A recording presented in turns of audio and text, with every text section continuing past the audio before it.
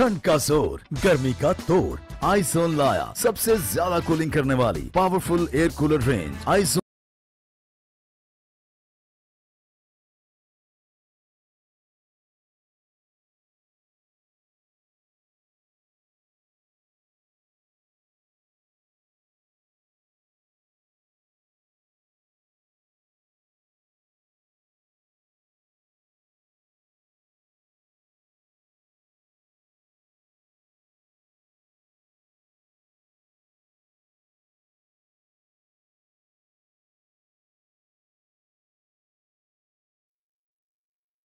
अलैक्म बच्चों।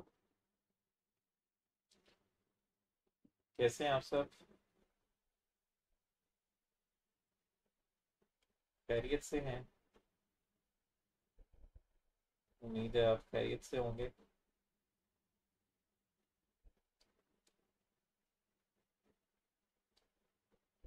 जी तो कैसी चल रही हैं आपकी ये लाइव क्लासेस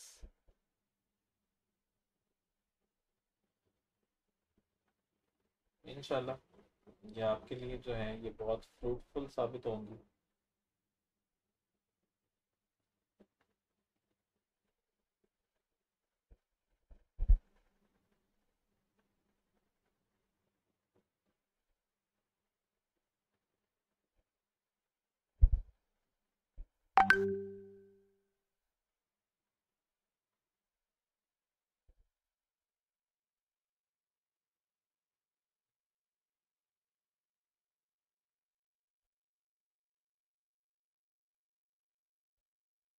जी बच्चों तो हम पढ़ रहे थे। हमने स्टार्ट किया था introduction to hydrocarbons unit number five और उसमें हमने इंट्रोडक्शन पढ़ा था हाइड्रोकार्बन्स के मुतालिक। हाइड्रोकार्बन्स की दो टाइप्स होती हैं, एक एलिफेटिक हाइड्रोकार्बन और एक जो है हमारे पास एरोमेटिक हाइड्रोकार्बन्स और उसके बाद हमने एल्केन्स और साइक्लो एल्केन्स की प्रॉपर्टीज़ देखी थी। और उसमें हम बात कर रहे थे फ़िज़िकल प्रॉपर्टीज़ एल्केन्स की और साइक्लो एल्केन्स की।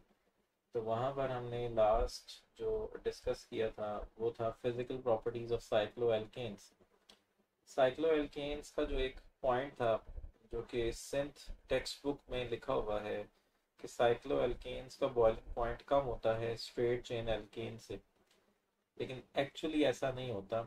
एक्चुअली क्या होता है? एक्चुअली साइक्लो एल्केन्स का बॉइलिंग पॉइंट ज़्यादा होता है एल्केन से। क्यों? क्योंकि साइक्लो एल्केन्स का सरफेस एरिया ज़्यादा होता है।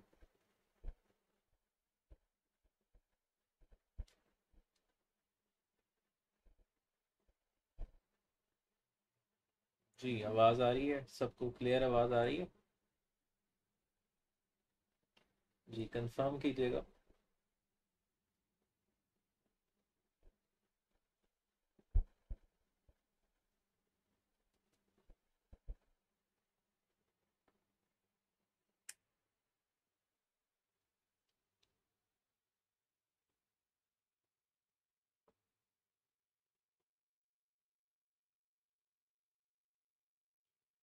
जी ओके तो आज हम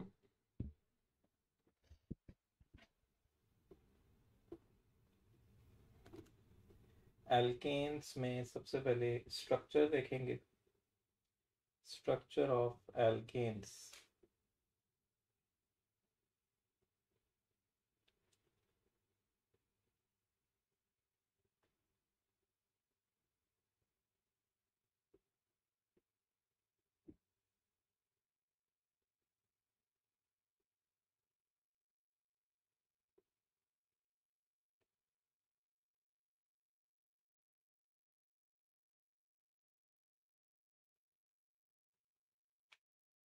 एल्केन्स के स्ट्रक्चर में हम हाइब्रिडाइजेशन को डिस्कस करेंगे।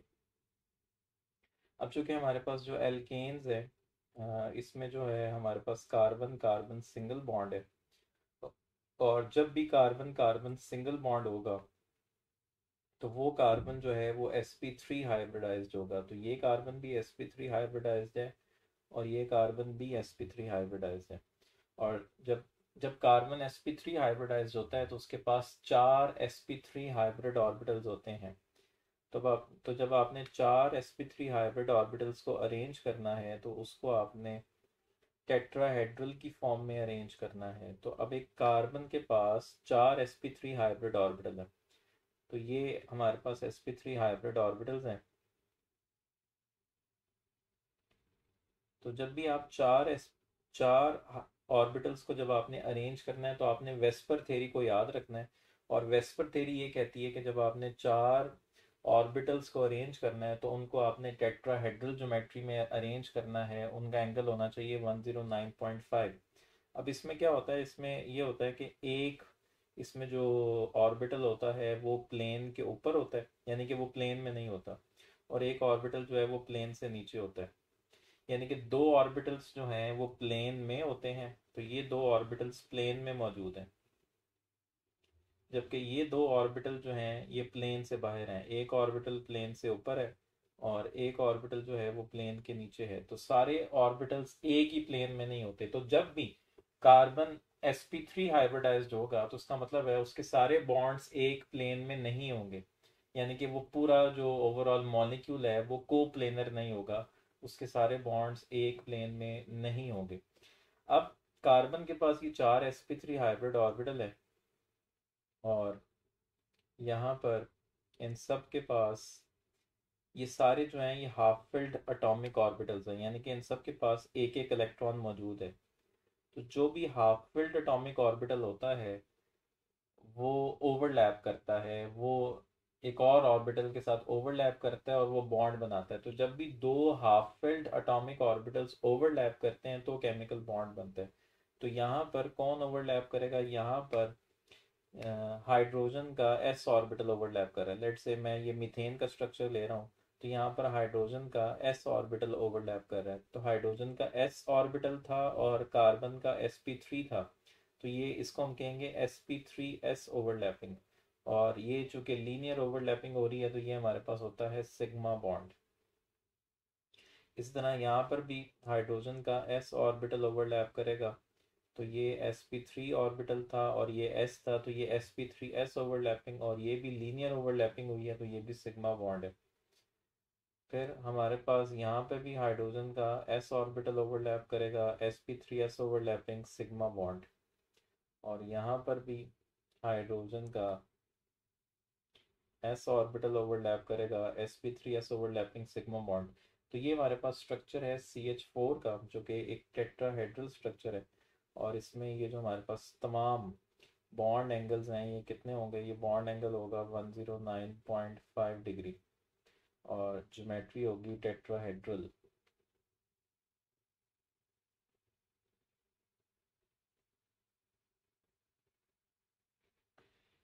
अच्छा जी अब हम ये था जी हमारे पास मीथेन का स्ट्रक्चर सी एच फोर अब अगर हम इथेन का स्ट्रक्चर देखें,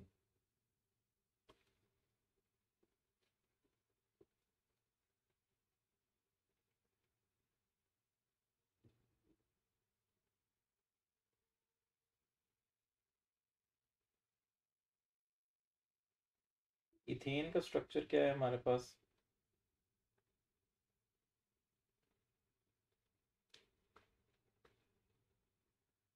इथेन होता है सी टू एच सिक्स तो इसमें दो कार्बन है, दोनों कार्बन जो हैं वो एस पी थ्री हाइब्रिडाइज हैं।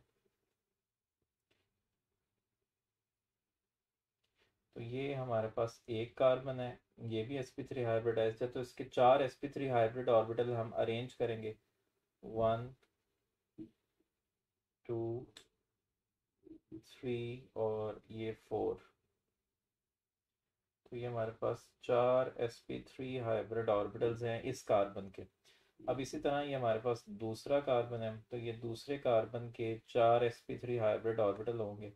एक S P three hybrid orbital तो ये आपस में ओवरलैप करके ये सिग्मा बॉन्ड बना लेंगे तो इसका भी एस पी थ्री और इसका भी एस पी थ्री ये दोनों ओवरलैप करेंगे और ये लीनियर ओवरलैपिंग हो रही है तो ये सिग्मा बॉन्ड बनेगा।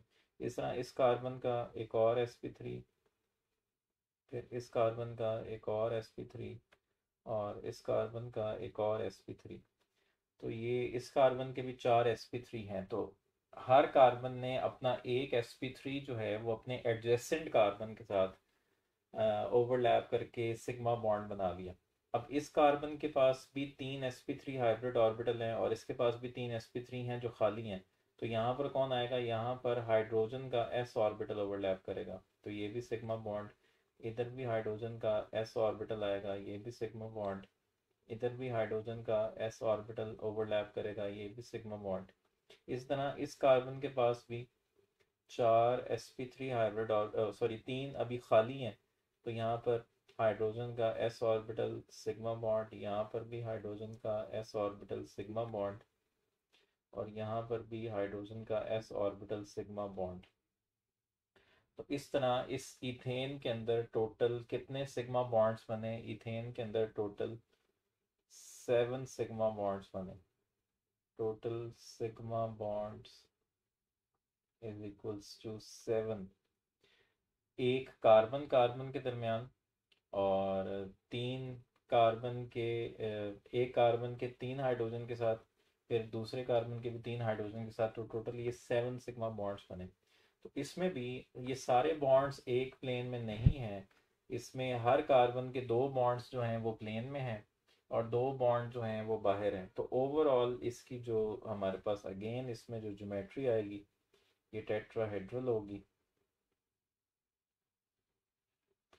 और इसमें हमारे पास जो carbon carbon hydrogen bond angle होगा या कार्बन या हाइड्रोजन कार्बन हाइड्रोजन जो बॉन्ड एंगल होगा। ये सारे बॉन्ड एंगल्स जो हैं ये हमारे पास क्या होंगे? 109.5 डिग्री तो बेसिकली हम इस बॉन्ड एंगल को क्या कह रहे हैं? हम इस बॉन्ड एंगल को कह रहे हैं carbon carbon hydrogen carbon carbon hydrogen bond angle जो है, वो है 109.5 degree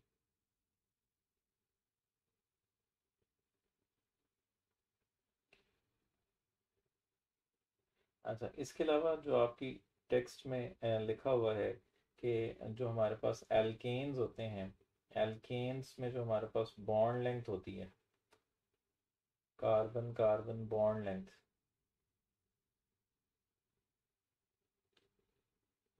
carbon carbon single bond जो हमारे पास बॉन्ड लेंथ है, वो क्या होती है? वो होती है 1.54 एंगस्ट्रॉम नॉट 1.54 एंगस्ट्रॉम नॉट या अगर आपने इसको पीकोमीटर्स में करना है तो ये हो जाएगा 154 पीकोमीटर्स ठीक है तो ये था जी हमारे पास स्ट्रक्चर अब हम बात करेंगे, ये था स्ट्रक्चर ऑफ़ एल्केन्स में, अब हम देखेंगे स्ट्रक्चर ऑफ़ साइक्लो एल्केन्स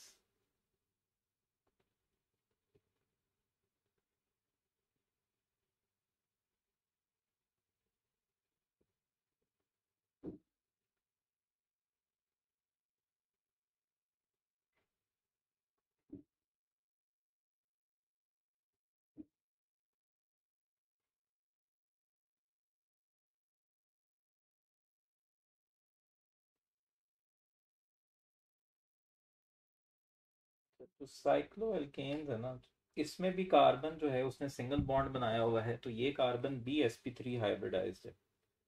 लेकिन इसमें मसला ये है कि एस पी थ्री हाइब्रिडाइज जब भी carbon S P three hybridise होगा तो उसका तो bond angle one zero nine point five होगा। लेकिन इसमें क्या है, इसमें अगर आप गौर से देखो तो मैं ये साइक्लोप्रोपेन का स्ट्रक्चर जो है, ये बनाने लगा मतलब नॉर्मली ऐसा होता है कि ये लेट से मेरे पास कार्बन है और तो एक मेरे पास इसने बॉन्ड बनाना था इस तरफ़। यानी कि इस कार्बन का बॉन्ड बनना था इस कार्बन के साथ। ये मैं साइक्लोप्रोपेन की बात करने लगा हूँ।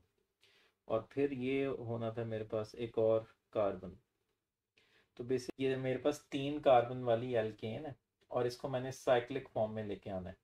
तो नॉर्मली इसमें बॉन्ड एंगल चूँकि ये एस पी थ्री हाइब्रिडाइज है तो नॉर्मली इसमें बॉन्ड एंगल कितना होना था? नॉर्मली इसमें बॉन्ड एंगल होना है 109.5 डिग्री लेकिन मैंने इसको जो है खींच के इस तरफ़ लेके आना है।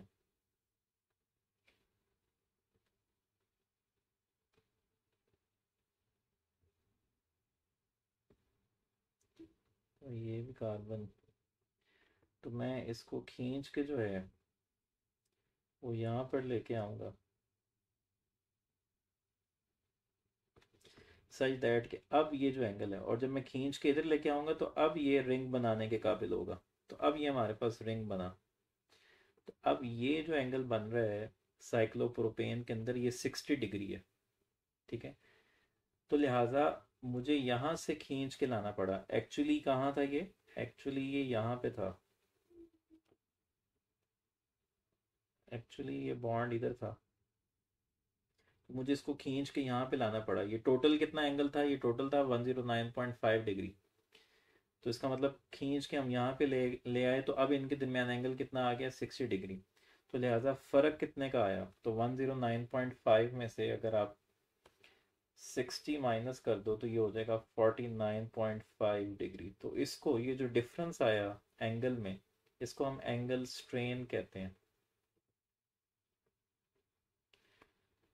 तो इसका मतलब है कि इसका स्ट्रक्चर मेंटेन करना ज़रा मुश्किल काम है, क्योंकि इसमें एंगल स्ट्रेन बहुत ज़्यादा आ गया। तो अभी हम ये बात भी करेंगे कि जो साइक्लोप्रोपेन है, वो प्रोपेन से ज़्यादा रिएक्टिव है।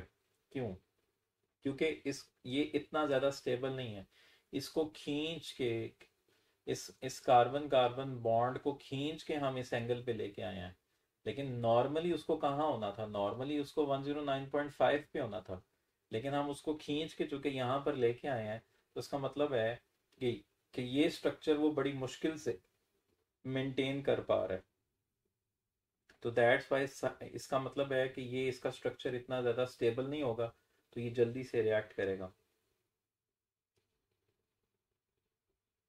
तो लिहाजा ये जो साइक्लोप्रोपेन है, इसमें हमारे पास ज्योमेट्री क्या बनी? तो ये चूँकि तीन कॉर्नर बने तो ये होगा ट्राइगोनल ठीक है तो ये होगी ट्राइगोनल ज्योमेट्री और इसमें इंटरनल एंगल कितना है? सारे जो हमारे पास इंटरनल एंगल है, वो हैं सिक्सटी डिग्री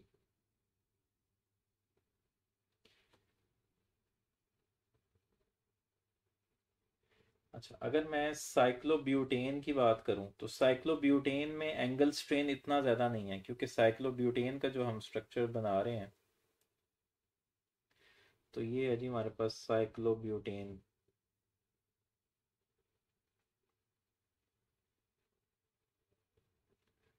तो साइक्लोब्यूटेन में ये सारे हमारे पास बॉन्ड एंगल्स कितने आ रहे हैं? ये सारे बॉन्ड एंगल्स आ रहे हैं 90 डिग्री तो यानी कि ये भी 109.5 से 90 पर आए हैं। लेकिन साइक्लोप्रोपेन में तो बहुत ज़्यादा डिफरेंस आया था। हम 109.5 से उसको 60 डिग्री पे लेके आए हैं। ठीक है तो एंगल स्ट्रेन जो है वो ज़्यादा है।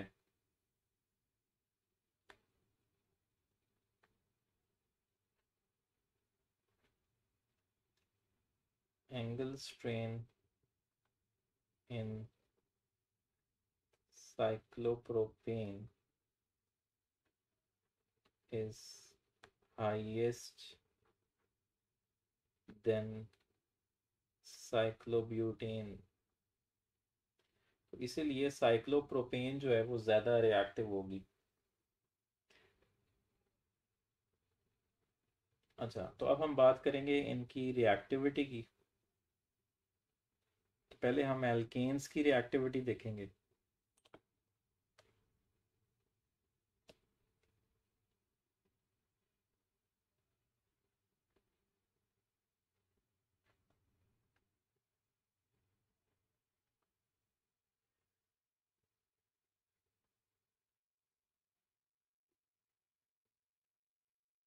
एल्केन्स जो हैं, इनका हम एक और नाम देते हैं।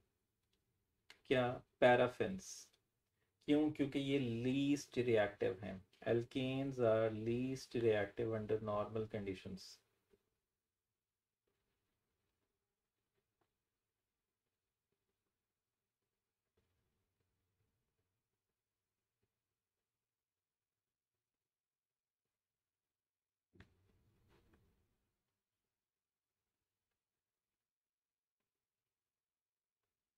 why ऐसा क्यों है? एल्केन्स सबसे कम रिएक्टिव क्यों हैं? क्योंकि एक तो इसमें पहली रीज़न है कि एक तो इनमें कार्बन कार्बन सिंगल बॉन्ड है और ये जो सिग्मा बॉन्ड है, ये एक स्ट्रॉन्ग बॉन्ड है। तो इस सिग्मा बॉन्ड को ब्रेक करना बड़ा मुश्किल होता है। तो जो बॉन्ड स्ट्रॉन्ग होता है, उसको ब्रेक करना मुश्किल होता है। तो लिहाजा कोई भी चीज़ आसानी से इस पर अटैक नहीं कर सकती। और एक तो ये हो गया स्ट्रॉन्ग बॉन्ड दूसरा दूसरी रीज़न ये है कि ये नॉन पोलर हैं। एल्केन्स आर नॉन पोलर जो नॉन पोलर होता है, उनके ऊपर कोई चार्ज नहीं होता। तो जिस पे चार्ज नहीं होगा, वो रिएक्टिव नहीं होगा। तो पोलर रिएजेंट इसके ऊपर कोई जो है चार्ज नहीं देखेगा तो पोलर रिएजेंट इसके ऊपर अटैक नहीं कर सकता। तो दूसरी इसकी नॉन पोलर जो है, वो नेचर है। अच्छा जो सिग्मा बॉन्ड होता है सिग्मा बॉन्ड में जो लेट से हमारे पास कार्बन कार्बन के दरमियान जो सिग्मा बॉन्ड होता है तो इसके ऊपर ये चूँकि स्ट्रॉन्ग बॉन्ड है तो इसमें जो इलेक्ट्रॉन्स होते हैं इलेक्ट्रॉन्स जो हैं, वो टाइटली पैक्ड होते हैं।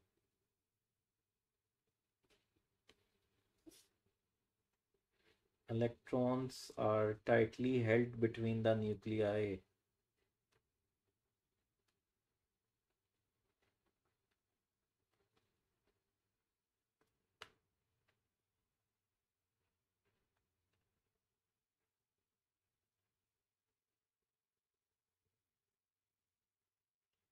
इसका मतलब इलेक्ट्रॉन्स जो हैं वो ज़्यादा एक्सपोज्ड नहीं है इलेक्ट्रॉन्स ज़्यादा एक्सपोज नहीं है इलेक्ट्रॉन्स टाइटली हेल्ड हैं बिटवीन द न्यूक्लियाई तो इसका मतलब है कोई भी इलेक्ट्रोफाइल इन पे आसानी से अटैक नहीं कर सकता। इलेक्ट्रोफाइल वो होता है जो इलेक्ट्रॉन लविंग होता है। तो इलेक्ट्रॉन पे जो अटैक करेगा वो इलेक्ट्रोफाइल होगा।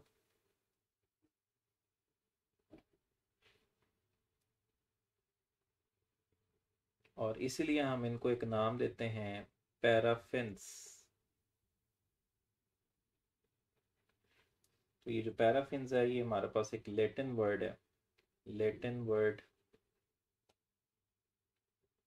लेटिन में पैरम का मतलब होता है लिटिल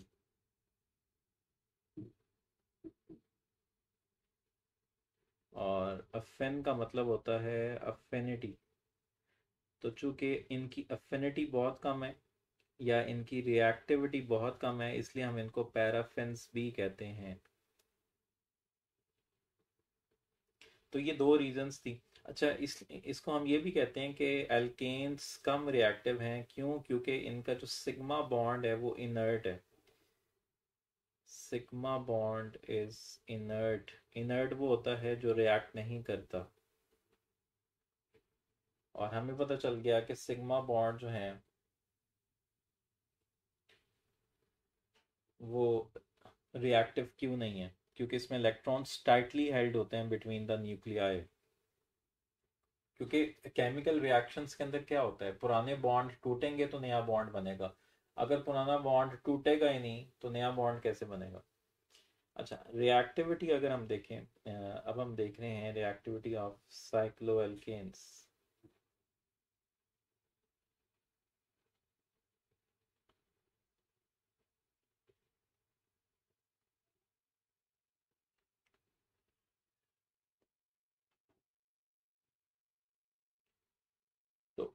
वैसे तो जो नॉर्मली हमारे पास साइक्लो एल्केन्स हैं, इनकी रिएक्टिविटी बिल्कुल एल्केन्स की तरह ही होती है। लेकिन सिवाय साइक्लोप्रोपेन के, अभी हमने बात की कि सिर्फ़ जो साइक्लोप्रोपेन है ना, वो ज़्यादा रिएक्टिव है क्यों? क्योंकि उसमें एंगल स्ट्रेन बहुत ज़्यादा है। उसका स्ट्रक्चर जो है, वो बड़ी मुश्किल से खींच के बनाया गया है। ठीक है? तो cycloalkanes are very similar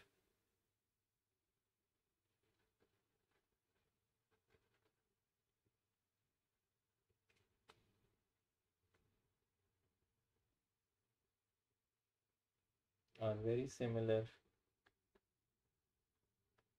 to the alkanes in reactivity.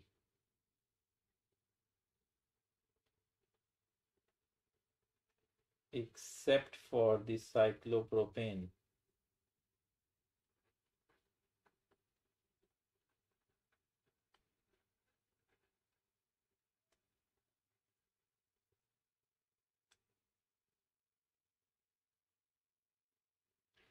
Which is more reactive due to bond angle strain.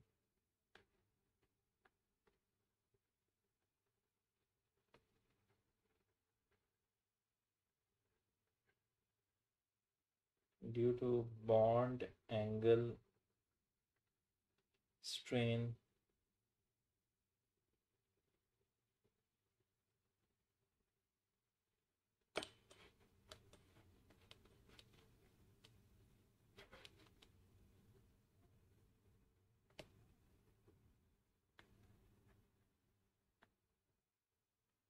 in the ring structure.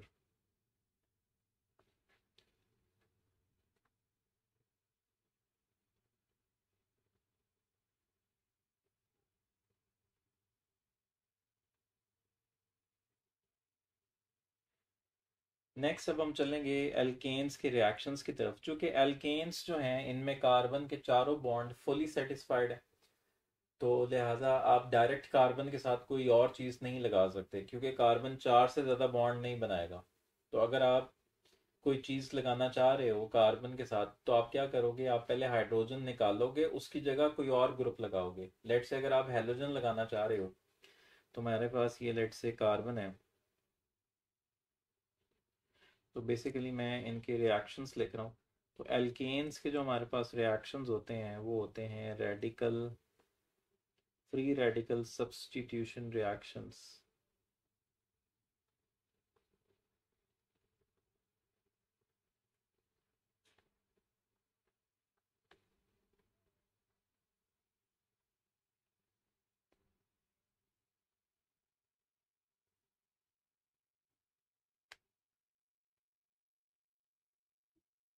तो कार्बन जो है इसके चारों बॉन्ड फुली सेटिस्फाइड होते हैं एल्केन्स में।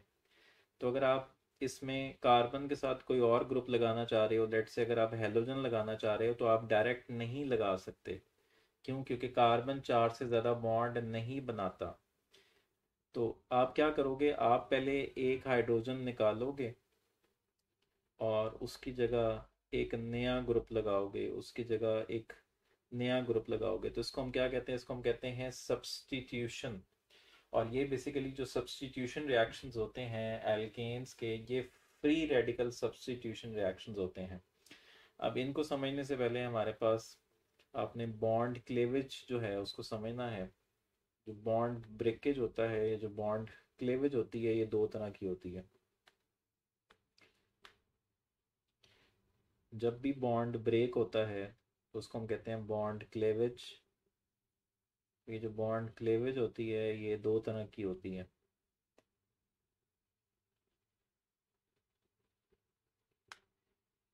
एक होती है हमारे पास होमोलिटिक फिशन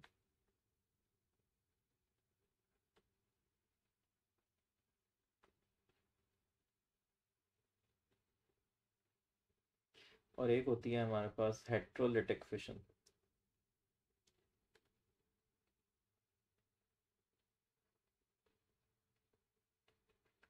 फिशन भी कहते हैं ब्रेकडाउन को।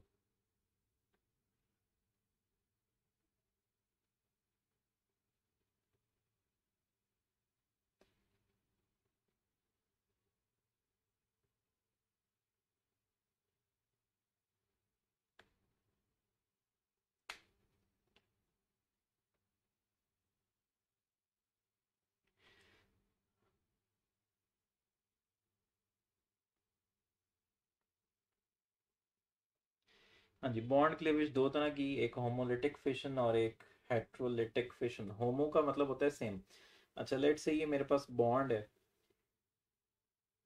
क्लोरीन क्लोरीन के दरमियान लेट से इसी तरह यहाँ पर भी मेरे पास बॉन्ड है क्लोरीन क्लोरीन के दरमियान। अच्छा हमें पता है कि एक बॉन्ड में दो इलेक्ट्रॉन्स होते हैं। एक इलेक्ट्रॉन इसका है और एक इलेक्ट्रॉन इसका है। इसी तरह यहाँ पर भी ऐसा ही है। एक एक इलेक्ट्रॉन इसका है, चूँकि ये कोवलेंट बॉन्ड है, ये म्यूचुअल शेयरिंग से बना है तो इसमें एक इलेक्ट्रॉन एक एटम का है और दूसरा इलेक्ट्रॉन दूसरे एटम का है। तो अगर तो बॉन्ड इस तरह ब्रेक हो कि दोनों का इलेक्ट्रॉन दोनों को मिल जाए, इसका इलेक्ट्रॉन इसको मिल जाए और इसका इलेक्ट्रॉन इसको मिल जाए तो उसको हम कहते हैं होमोलिटिक फिशन और इसके केस में क्या होगा कि क्लोरीन का इलेक्ट्रॉन क्लोरीन को मिल गया तो क्लोरीन के ऊपर आ जाएगा, क्लोरीन के पास वो अनपेड इलेक्ट्रॉन होगा तो इस नतीजे में ये हमारे पास फ्री रेडिकल बनेगा और इसी तरह ये भी हमारे पास क्लोरीन फ्री रेडिकल बनेगा। तो जब भी होमोलिटिक फिशन होगी तो इस केस में हमारे पास फ्री रेडिकल्स बनते हैं। फ्री रेडिकल क्या होता है? जो जिसके पास अनपेड इलेक्ट्रॉन होता है। ठीक है? उसको हम कहते हैं फ्री रेडिकल और इसको हम डॉट से रिप्रेजेंट करते हैं। लेकिन अगर ये बॉन्ड इस तरह ब्रेक हो कि एक को पूरा पेयर ऑफ़ इलेक्ट्रॉन मिल जाए, ये पूरा पेयर ऑफ़ इलेक्ट्रॉन इस एक को मिल गया और इसको जो है वो कोई भी इलेक्ट्रॉन नहीं मिला तो जिसको कोई इलेक्ट्रॉन नहीं मिला, इसका मतलब उसका एक इलेक्ट्रॉन कम हो गया तो जिसका एक इलेक्ट्रॉन कम हो गया, उस पर आ जाएगा पॉजिटिव चार्ज और जिसको एक इलेक्ट्रॉन ज़्यादा मिल गया,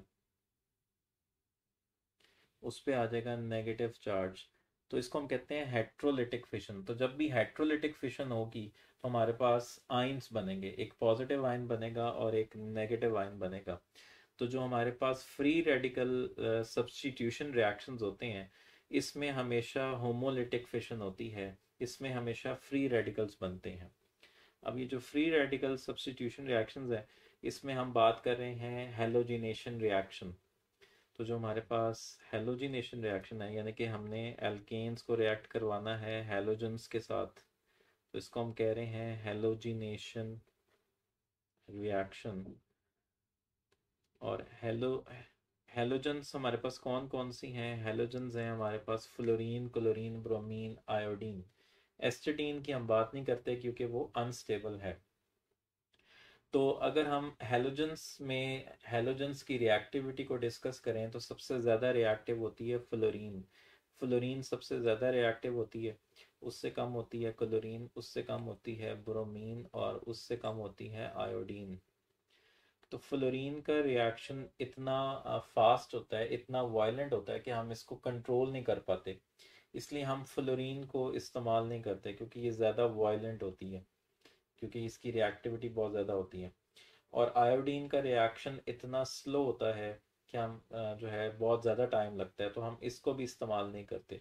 तो हम ज़्यादा उसको इस्तेमाल करते हैं जो मॉडरेट होते हैं। तो क्लोरीन और ब्रोमीन तो ये फास्ट है, इसका रिएक्शन फास्ट है, इसका रिएक्शन स्लो है, और ये जो है, ये मॉडरेट हैं। तो या तो हम क्लोरीनेशन करते हैं या हम ब्रोमिनेशन करते हैं। तो ये हमारे पास फ्री रेडिकल मैकेनिज्म है। और ये फ्री रेडिकल मैकेनिज्म ये जो जो हमारे पास फ्री रेडिकल्स बनते हैं, ये सनलाइट की प्रेजेंस में बनते हैं। Reaction between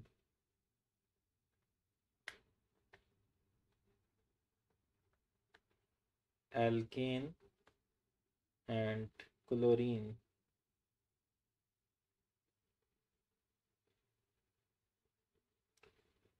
the reaction between alkane and chlorine in UV light basically sunlight ज़रूरी होती है और सनलाइट में भी बेसिकली अल्ट्रावायलेट रेडिएशंस जो हैं वो इस्तेमाल होती हैं।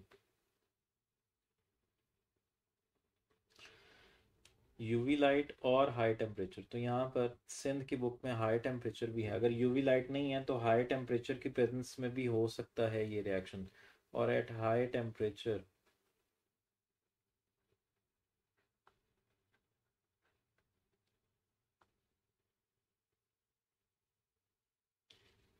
takes place through free radical reaction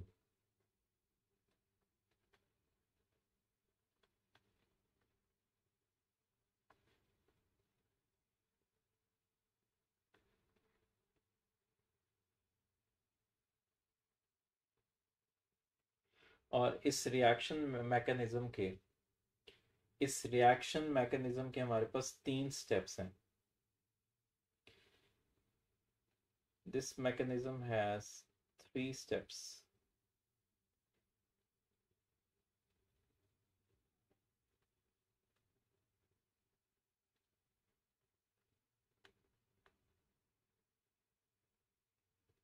अच्छा जी, इसमें जो हमारे पास पहला स्टेप होता है ना वो होता है इनिशिएशन स्टेप वन जो होता है उसको हम कहते हैं इनिशिएशन या पर्टिकुलरली uh, सिंध में लिखा हुआ है चेन इनिशिएशन सिर्फ़ इनिशिएशन भी कह सकते हैं चेन इनिशिएशन भी कह सकते हैं.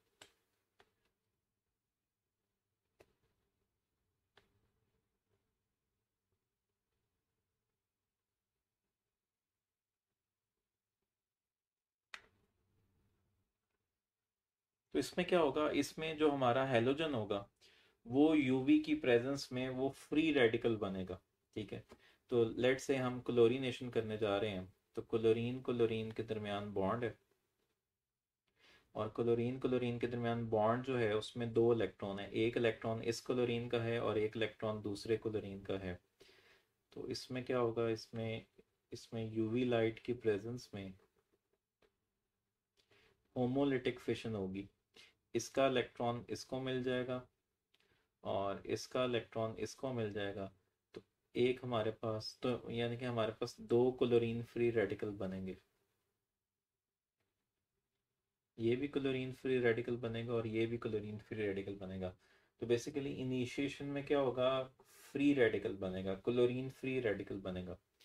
और फिर होगा हमारे पास स्टेप टू स्टेप वन में सिर्फ़ हमारा जो हेलोजन फ्री रेडिकल है वो बनेगा। फिर होता है स्टेप टू स्टेप टू में।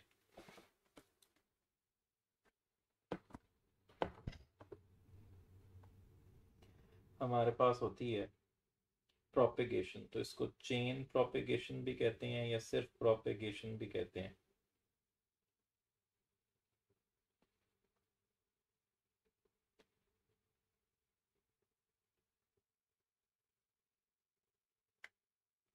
प्रोपेगेशन में क्या होगा? प्रोपेगेशन में हमारा जो क्लोरीन फ्री रेडिकल है, वो हमारी एल्केन के साथ मिलेगा और उसमें से हाइड्रोजन निकाल लेगा। उसमें से हाइड्रोजन निकाल के एच बन जाएगा और वो जो जिस एल्केन में से हाइड्रोजन निकाला होगा, वो वो जो है हमारे पास अल्काइल फ्री रेडिकल बन जाएगा। तो इसमें आपने ज़रा ध्यान से सुनना है। कि लेट से हम मीथेन के साथ इसका रिएक्शन करवाने जा रहे हैं सी एच फोर तो सी एच फोर इसमें हमारे पास क्या है? एक इलेक्ट्रॉन जो है वो इस कार्बन का है और एक इलेक्ट्रॉन इस हाइड्रोजन का है और इस मीथेन को रिएक्ट करवाएँगे इस क्लोरीन फ्री रेडिकल के साथ। तो क्या होगा? होमोलिटिक फिशन होगी। यहाँ पर हाइड्रोजन अपना इलेक्ट्रॉन ले के निकलेगा। हाइड्रोजन इस क्लोरीन फ्री रेडिकल के साथ मिल जाएगा और ये बन जाएगा एच सी एल अब पीछे क्या बच गया? कार्बन का इलेक्ट्रॉन कार्बन को मिल गया था तो वो कार्बन के ऊपर फ्री रेडिकल आ जाएगा। तो ये मिथाइल फ्री रेडिकल बन गया। ठीक है। अब नेक्स्ट स्टेप में क्या होगा? नेक्स्ट स्टेप में ये जो मिथाइल फ्री रेडिकल बना है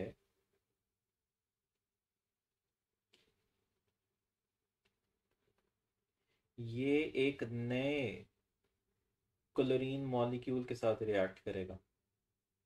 एक नए क्लोरीन मॉलिक्यूल के साथ रिएक्ट करेगा। तो इसमें भी हमारे पास इस क्लोरीन मॉलिक्यूल में एक इलेक्ट्रॉन इस क्लोरीन का है और एक इलेक्ट्रॉन इस क्लोरीन का है। तो यहाँ पे भी होमोलिटिक फिशन होगी। यानी कि इसका इलेक्ट्रॉन इसको मिलेगा और इसका इलेक्ट्रॉन इसको मिलेगा। तो ये अपना एक इलेक्ट्रॉन लेके इस कार्बन के साथ बॉन्ड बना लेगा और इसको अपना इलेक्ट्रॉन मिल जाएगा तो ये क्लोरीन फ्री रेडिकल बन जाएगा। तो इस C H three free radical के साथ इस सी एल ने बॉन्ड बना लिया तो ये मीथाइल क्लोराइड बन गया और साथ क्लोरीन फ्री रेडिकल फिर से बन गया। तो यानी कि ये हमारा प्रोडक्ट बन गया मीथाइल क्लोराइड या क्लोरोमीथेन तो इस तरह अभी हमने एक हाइड्रोजन निकाली और उसकी जगह एक एक हाइड्रोजन निकाला और उसकी जगह एक क्लोरीन लगा दिया। अब यहाँ पर एक बड़ी इंपॉर्टेंट बात है। अगर तो क्लोरीन अगर तो हेलोजन एक्सेस में होगी, अगर हेलोजन ज़रा एक्सेस में होगी तो फिर हमारे पास ये प्रोपेगेशन होती रहेगी। यानी कि फिर मज़ीद हाइड्रोजन निकलेगा, उसकी जगह एक और हेलोजन लगेगा। फिर मज़ीद हाइड्रोजन निकलेगा, उसकी जगह एक और हेलोजन तो अगर तो हेलोजन एक्सेस में होगी अगर हेलोजन एक्सेस में होगी तो हाइड्रोजन निकलते जाएँगे उसकी जगह हेलोजन लगता जाएगा। लेकिन अगर हेलोजन एक्सेस में नहीं है तो हमारे पास सिर्फ़ ये हमारे पास सिर्फ़ मोनोक्लोरो एल्केन्स बनेगी ठीक है? हमारे पास सिर्फ़ अल्काइल हेलाइड बनेगा। तो यहाँ पर एक बात इंपॉर्टेंट है। If halogen is in in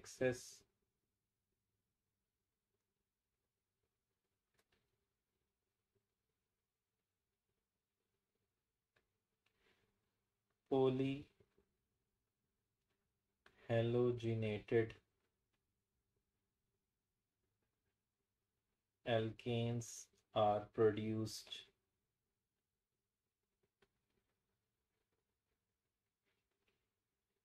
and if halogen is not is in excess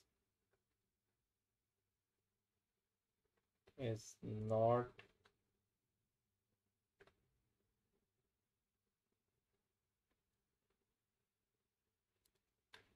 if halogen is not in excess then mo mono halogenated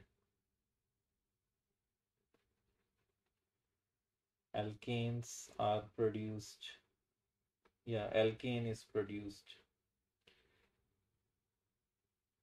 पर यहाँ पर एक और बात भी लिखी हुई है जो कि यहाँ पर सिंध में लिखा हुआ है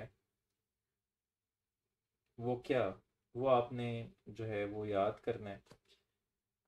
वो है टर्मिनेशन के अंदर। जो हमारा स्टेप नंबर थ्री है स्टेप नंबर थ्री है जी टर्मिनेशन स्टेप नंबर थ्री क्या होती है? टर्मिनेशन इसको हम चेन टर्मिनेशन भी कहेंगे, या सिर्फ़ टर्मिनेशन भी कह सकते हैं।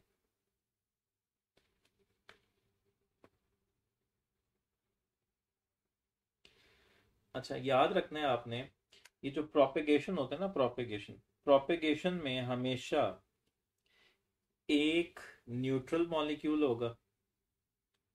एक न्यूट्रल मॉलिक्यूल होगा और उसके साथ एक फ्री रेडिकल होगा।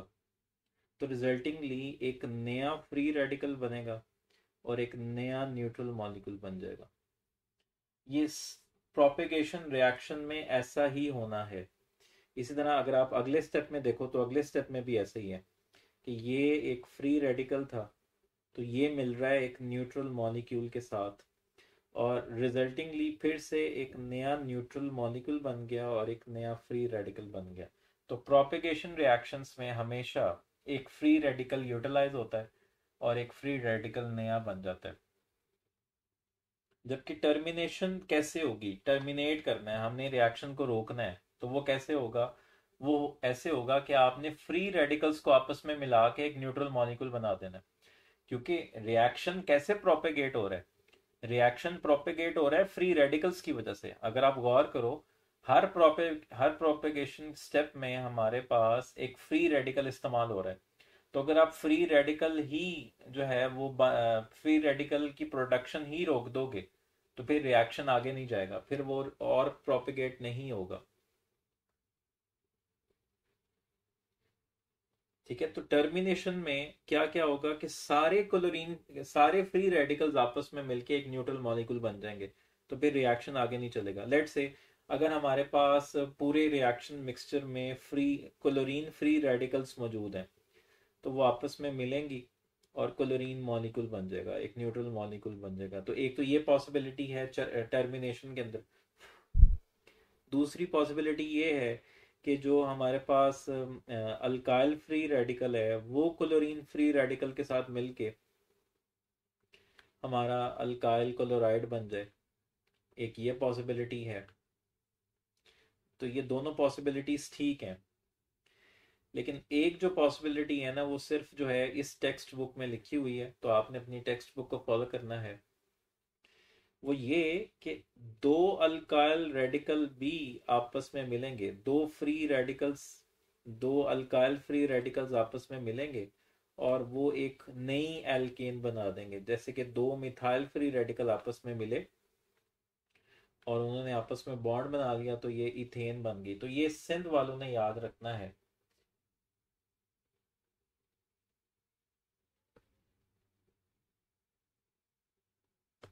ठीक है? वैसे ऐसा होता नहीं है। वैसे ऐसा नहीं होता कि अल्काइल फ्री रेडिकल्स आपस में मिलके जो है हमारे पास एक नई एल्केन बन जाए। मैंने आपको एक बात पहले से बता दी कि अगर तो आपके पास एल्केन एक्सेस अगर तो आपके पास एल्केन एक्सेस में है और हेलोजन एक्सेस में नहीं है, यानी कि आपके पास हेलोजन एक्सेस में नहीं है तो आपके पास सिर्फ़ एक हाइड्रोजन निकलेगा और उसकी जगह एक हेलोजन लग जाएगी। ठीक है? यानी कि आपके पास मोनो हेलोजिनेटेड प्रोडक्ट आएगा। लेकिन अगर आपके पास हेलोजन एक्सेस में है तो फिर वो प्रोपेगेशन स्टेप में इस्तेमाल होती जाएगी होती जाएगी। तो सारे हाइड्रोजन निकलेंगे तो फिर हमारे पास एक पोली हेलोजिनेटेड कंपाउंड बनेगा। तो लास्ट पर आपकी टेक्स्ट बुक में ओवरऑल इस रिएक्शन को ऐसे लिखा हुआ है कि सी एच फोर और सी एल टू के साथ मिल रही है। In the presence of sunlight तो पहले मिथाइल क्लोराइड बना और एच बना। सनलाइट की प्रेजेंस में। फिर मिथाइल क्लोराइड फिर से एक नए क्लोरीन मॉलिक्यूल के साथ मिल रहा है in the presence of sunlight तो ये देखो, हर हर स्टेप में एक नया क्लोरीन मॉलिक्यूल ऐड होगा। इसका मतलब है कि हेलोजन एक्सेस में होनी चाहिए। तो फिर ये हमारे पास फिर एक और हाइड्रोजन निकलेगा, उसकी जगह एक क्लोरीन लग जाएगी तो ये डाइक्लोरोमीथेन बन गई, या मिथाइलिन क्लोराइड बन गई। और फिर नेक्स्ट स्टेप में एक और हेलोजन का मॉलिक्यूल इस्तेमाल होगा in the presence of sunlight तो फिर एक और हाइड्रोजन निकलेगा, उसकी जगह एक और क्लोरीन लग गई, साथ एच बनेगा। तो ये हमारे पास बन गई क्लोरोफॉर्म या ट्राइक्लोरोमीथेन और लास्ट पर एक और हाइड्रोजन अभी मौजूद है इसमें तो एक और क्लोरीन मॉलिक्यूल इस्तेमाल होगा तो ये कार्बन टेट्रा क्लोराइड बन जाएगा और एच बन जाएगा। तो इस तरह आपको नज़र आ रहा है कि जैसे जैसे हाइड्रोजन इस्तेमाल हो रहा है, हमारा हमारा जो हाइड्रोजन है वो ख़त्म होता जा रहा है हाइड्रोजन की जगह हेलोजन आता जा रहा है। तो यही बात मैंने की है कि अगर हेलोजन एक्सेस में होगा तो पोली हेलोजिनेटेड कंपाउंड बनेगा, और अगर हेलोजन एक्सेस में नहीं है तो मोनो हेलोजिनेटेड कंपाउंड बनेगा। अच्छा यहाँ पर आपकी बुक में एक साइड पे इंफॉर्मेशन दी हुई है कि अगर आपने इथेन की हेलोजिनेशन करनी है तो इथेन की हेलोजिनेशन करना इतना आसान काम नहीं है। मीथेन की तो आसानी से हो जाती है। क्यों? पहली रीज़न क्या है? पहली रीज़न कि मीथेन की हेलोजिनेशन आसान है इथेन से, क्योंकि मीथेन में सिर्फ़ चार हाइड्रोजन है, जबकि इथेन में छह हाइड्रोजन है। तो वो छह हाइड्रोजन निकालना और किस कार्बन से निकालना है, ये बड़ा मसला है।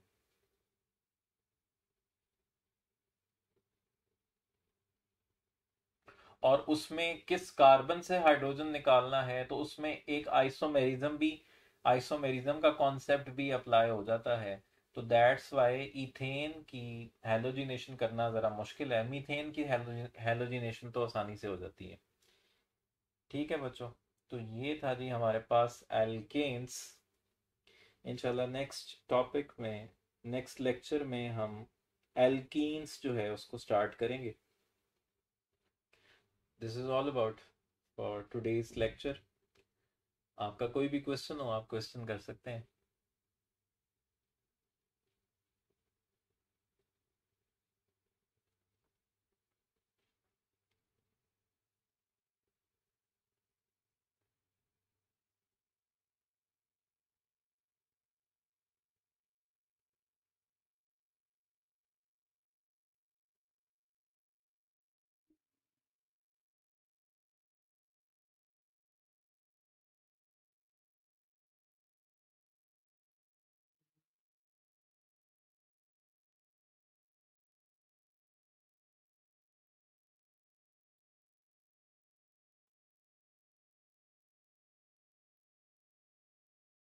कौन सा फोर्थ बॉन्ड?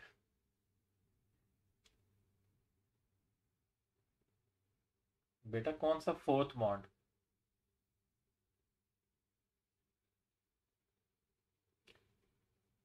जी बेटा, हम एब्सोल्यूट वैल्यू नहीं फाइंड आउट कर सकते इंटरनल एनर्जी की, क्योंकि ये एक हमारे पास स्टेट फ़ंक्शन है।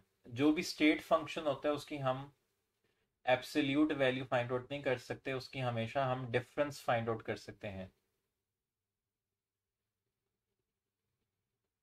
पर हमने तो केमिस्ट्री को फॉलो करना है ना।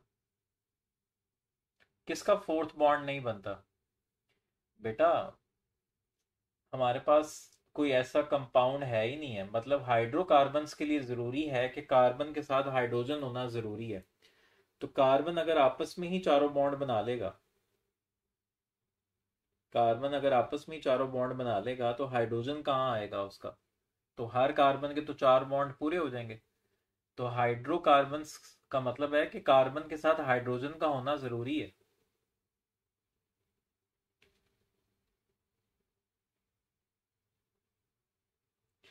और वैसे भी दो दो न्यूक्लियाई के दरमियान इतने ज़्यादा इलेक्ट्रॉन्स एकोमोडेट हो ही नहीं सकते। दो न्यूक्लियस के दरमियान इतने ज़्यादा इलेक्ट्रॉन्स एकोमोडेट नहीं हो सकते। जी सिंथ की बुक में एल्केन्स की प्रेपरेशन नहीं है।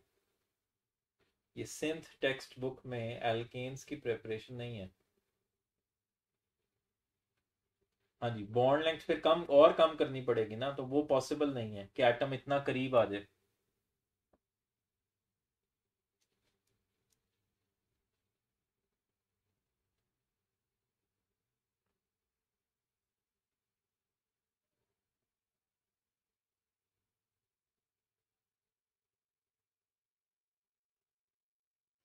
बेटा हम वहाँ कर सकते हैं, हम यहाँ नहीं कर सकते, ठीक है?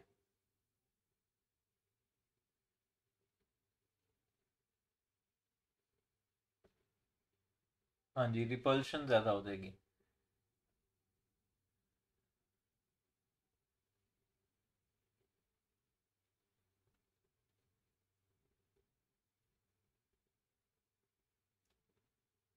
वालेकुम सलाम।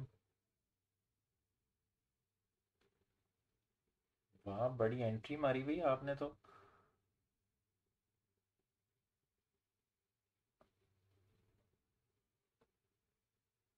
शमसुर रहमान, बड़ी एंट्री मारी आपने।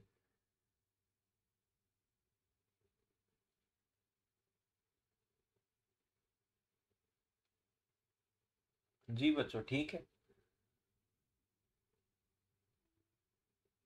तो इसको आपने रिवाइज कर लेना है। इंशाल्लाह नेक्स्ट लेक्चर में हम एल्कीन्स को स्टार्ट करेंगे।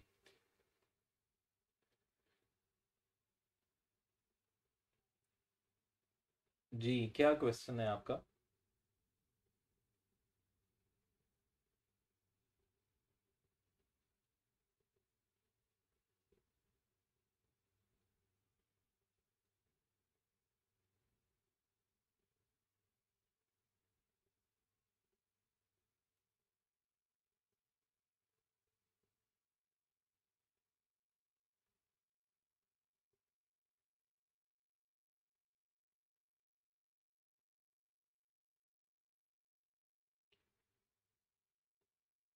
बेटा मेरा नेम है Lutfullah Siddiqui. L U T F U double L A H Lutfullah Siddiqui. Physics में वर्क पाथ पर डिपेंड नहीं करता, लेकिन केमिस्ट्री में करता है। अच्छा केमिस्ट्री में कहाँ करता है?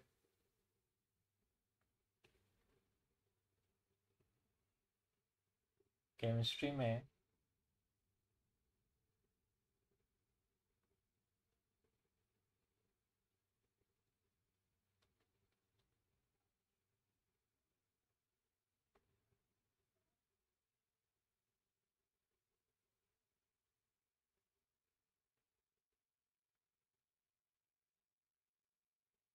thanks to Allah thanks to Allah बेटा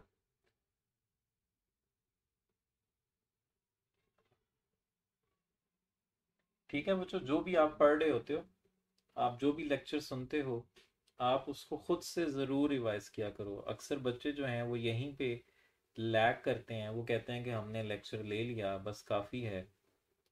तो बस आपने, ये काफ़ी नहीं होता कि आपने लेक्चर ले लिया। ये ये बहुत अच्छी बात है कि आप लेक्चर ले रहे हो, लेकिन उससे भी अच्छी बात है कि आप उसको रिवाइज भी करो।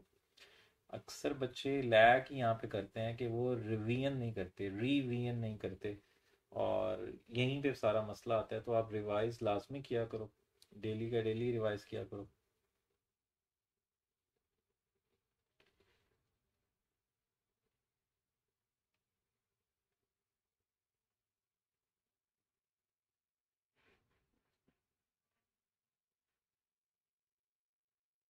नहीं बेटा, एक साथ हाइड्रोजन रिमूव नहीं कर सकते, ये स्टेप बाय स्टेप होता है। मतलब वैसे तो चूँकि ये रिएक्शन जो हो रहा है, ये कितने सेकंड्स में हो रहा है तो हमें तो ऐसे ही लगेगा कि सारे एक ही स्टेप में हाइड्रोजन निकल गए हैं और हेलोजन लग गए। लेकिन एक्चुअली ऑब्वियसली ऐसा नहीं होता। पहले ये स्टेप बाय स्टेप होता है। रिएक्शन मैकेनिज्म में यही होता है कि एक हाइड्रोजन निकलेगा, फिर क्लोरीन आएगा, फिर हाइड्रोजन निकलेगा, फिर क्लोरीन आएगा। ठीक है? नॉर्मली ऐसा नहीं होगा कि सारे हाइड्रोजन निकलेंगे और सारे हाइड्रोजन निकल गए तो वो तो कार्बन तो कंगला हो जाएगा। कार्बन जो है वो तो चीखे मारेगा कि भाई सारे निकल गए मुझे छोड़ गए बारी बारी जाओ मतलब एक चला जाए, दूसरा आ जाए तो इस तरह।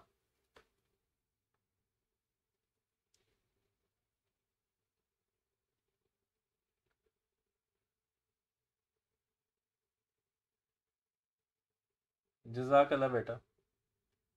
अल्लाह आप सबको कामयाब करे। हाइब्रिडाइजेशन बच्चों को लगता है कि ये सारा कुछ हाइपोथेटिकल है, लेकिन साइंसदानों ने अपनी पूरी ज़िंदगी लगाई हुई है।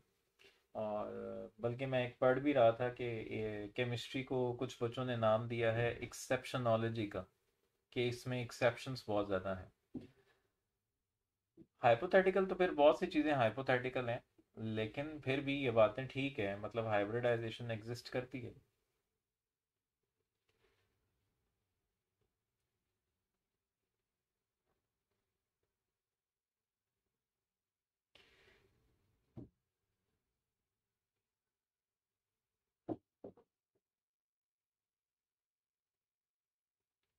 ठीक है बच्चों तो इंशाल्लाह मिलते हैं आपसे नेक्स्ट लेक्चर में। तो हमेशा खुश रहें। दूसरों को खुश रखें। और हमेशा अच्छा सोचें, पॉजिटिव सोचें। और अच्छा सोचेंगे अच्छा होगा, बुरा सोचेंगे, बुरा होगा। तो अपना बहुत सारा ख्याल रखिएगा। अल्लाह हाफिज़।